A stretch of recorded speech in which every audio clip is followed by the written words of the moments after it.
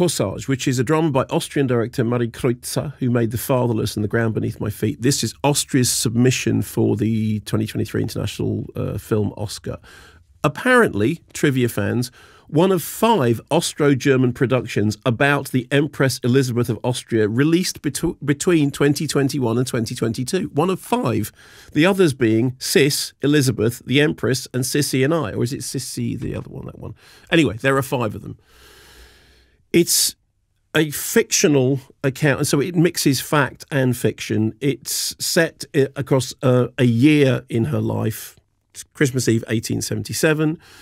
She's turning 40. She is deemed to be, therefore, an old woman, but she is very much not that. She is a rebellious spirit. She's played by Vicky Krieps, who, of course, was so brilliant in Phantom Thread, um, and who shared the Un Certain Regard Best Performance winner at Cannes in May. You know, the Un Certain Regard category, which is the films that the festival views uncertainly. Mm. How do you view something uncertain? No, it's not. But that's not what it means. Uncertain regard doesn't mean it's, Ah, a, it's, a, it's okay. a famous. Uh, joke. anyway, so her.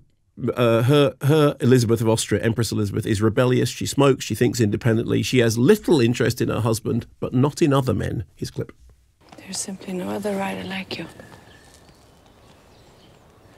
They are waiting with tea for you. I was told you didn't even say good day. I know. I behaved very badly. But something was telling me to come and see the stables.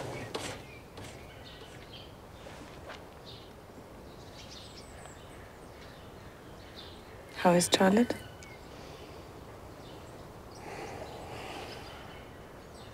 Still no ring?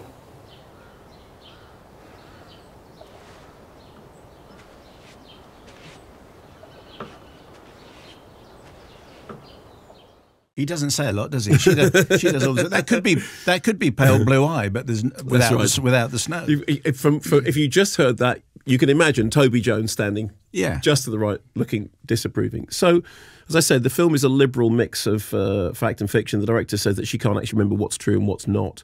For example, there is apparently no historical record of uh, Elisabeth ever meeting Louis Le Prince, who was a pioneer of cinema of the moving image, but the film constructs a meeting between them in which she becomes the subject of one of his early short reels. And it's a lot to do with image and the way that image is preserved, going from painting to photography, and photography meant to be objective, but it isn't. But he makes a sort of argument about the way that the moving image is more objective than the standing uh, image. The film is also full of anachronistic tropes, including a minstrel at one point singing, Help Me Make It Through the Night. And so that obviously calls to mind um, Sofia Coppola's uh, Marie Antoinette, which of course famously had uh, you know anachronistic pop songs in it. That, that that then was a trope that was repeated in W.E. the Madonna film, for which you interviewed Andrew Riseborough. Andrea Riseborough, Yes. well remembered. Um, although the director of this film has said that she doesn't want anyone to be thinking about Marie Antoinette, to which the answer is, well, you know, slightly hoist by, by by your own petard there. Um, it's an interesting it's an interesting film. I don't think it's quite as brilliant as as some critics do. I mean, uh, some colleagues of mine have really really taken to it and thought it was great. I think it's it's got some ambitious ideas. I was thinking about, you know, in, in Catherine Called Birdy, which is one of my top 10 films of the year, I absolutely loved it. They've got that thing about the, the, the reworking of, uh, of popular tunes again, put in anachronistic context. That's another thing that that sort of that fits into. I think this is interesting. It's quite hard. It's quite. It's not. It's not a particularly um, emotionally engaging watch immediately. Although the performances are all, you know, individually strong. I think it's an interesting film with some ambitious ideas. I kind of wanted to like it more than I did because I had been told by colleagues who I like very much and I admire very much that it was great. I don't think it's great. I think it's fine and interesting, but I didn't love it. Oh, wow, you've made it to the end. So, as Cliff would have said, congratulations. And now that you're here, let me tell you about all our other offerings.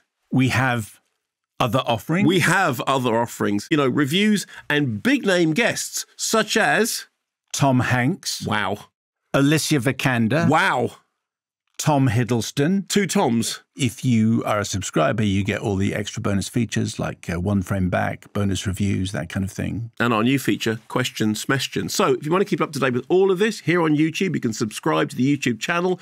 Also, go to kermodeandmayo.com for all the new stuff about the podcast. Tap the link. Go on, tap the link. You know you want to.